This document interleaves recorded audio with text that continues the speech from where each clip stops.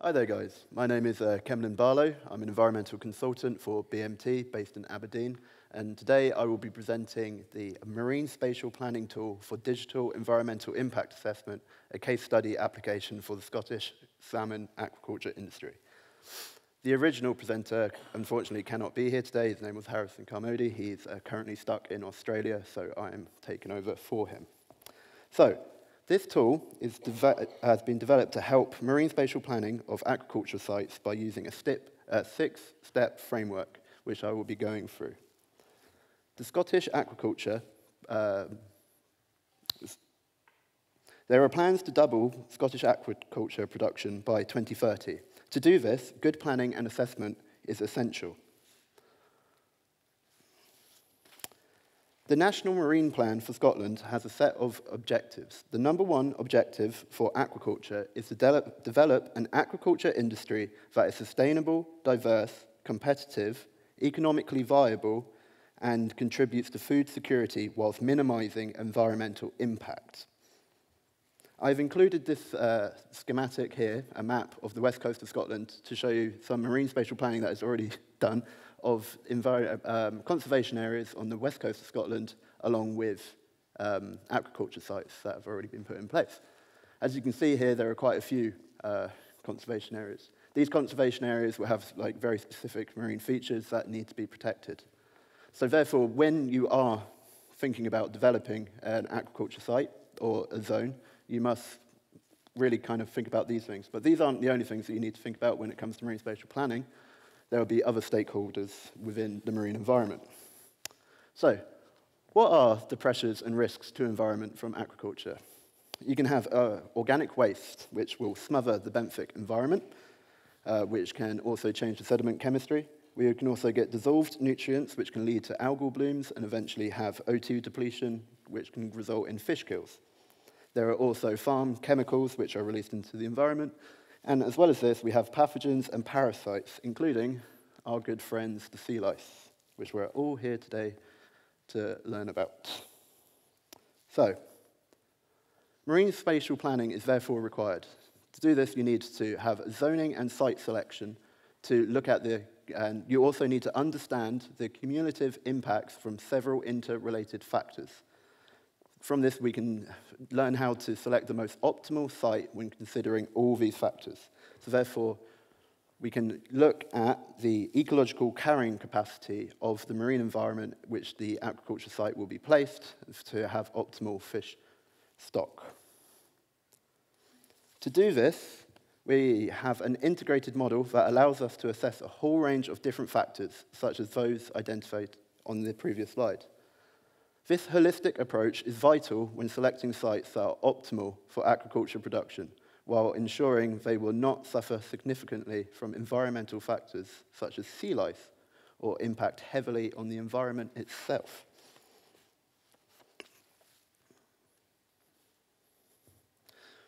Within our integrated model, we have a sea lice model, this allows for the behavioral characteristics and physical influences that affect the dispersal of sea lice to be included in the model.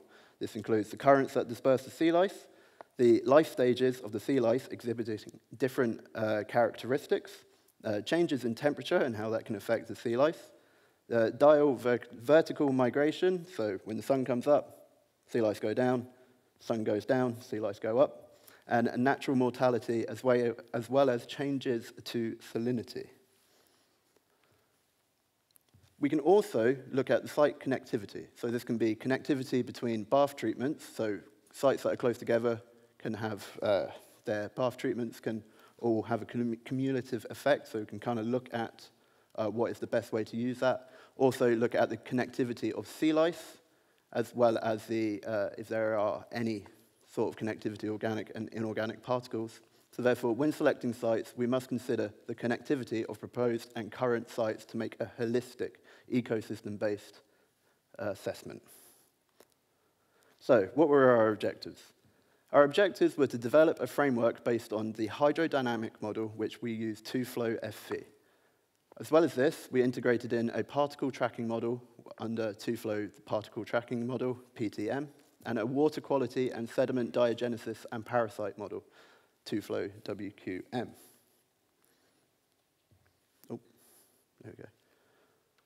We've done this. Uh, we're going to employ the framework to estimate the sea lice dispersion, sea lice footprint, such as the area density, as well as other factors which influence site selection. By doing this, uh, under a broad range of hydrodynamic and water quality regimes, we can facilitate optimal zoning and site selection.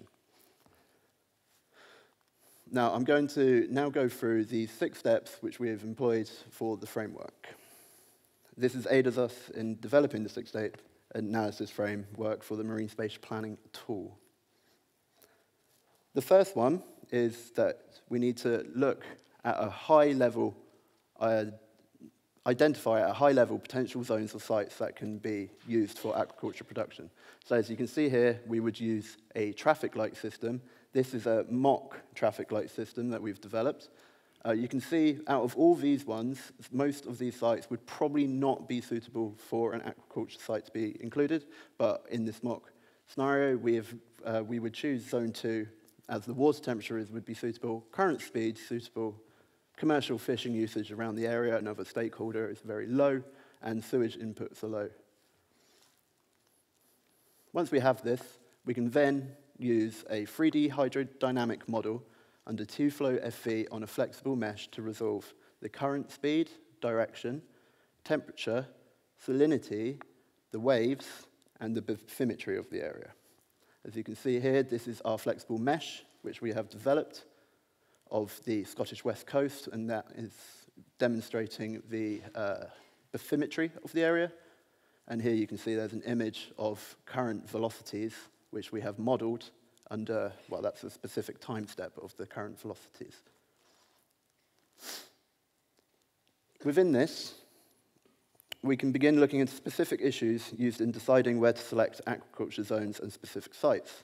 Our first example, which we would look at, is in supporting site selection, which uses a waste particle tracking model and water quality simulations. We can track these particles from the pen to the seabed and observe the density of waste and the organic matter and the concentration, as well as the maximum extent of waste dispersion.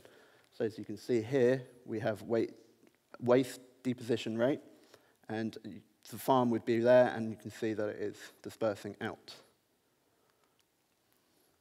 As well as this, we can simulate the water quality and sediment diagenesis using a TUFLOW water quality model. From this, we're able to measure the following. A dissolved oxygen, inorganic nutrients, such as inorganic nitrogen, um, dissolved inorganic nitrogen, sorry, and inorganic phosphorus, organic matter, such as from organic carbon, nitrogen, and phosphorus, um, chlorophyll and algal blooms, as well as sediment fluxes. So here you can see the dissolved inorganic nitrogen differences of the same modeled farm with different quantities of fish stock.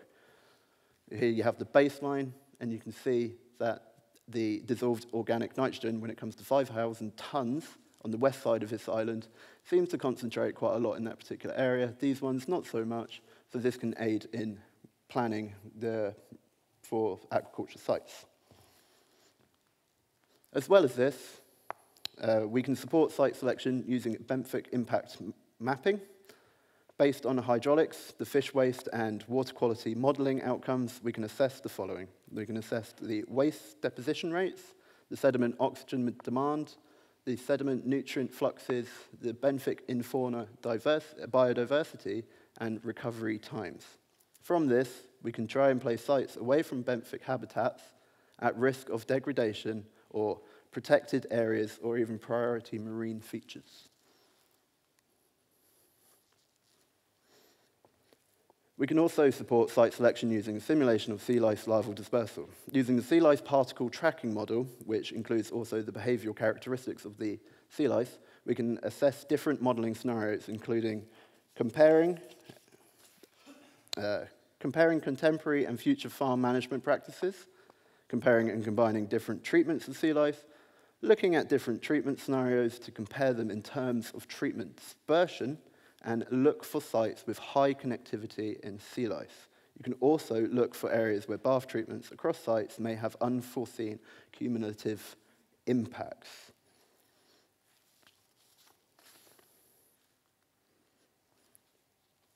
So, finally, we can finalize site selection based upon the hydrodynamics, the deposition and dispersal, uh, dispersion of particulate organic matter, the advection of, and dispersion of dissolved organic matter, mortality and dispersion of sea lice, and the effects of these waste and sea lice on pelagic water quality and benthic habitats and the rate of environmental recovery.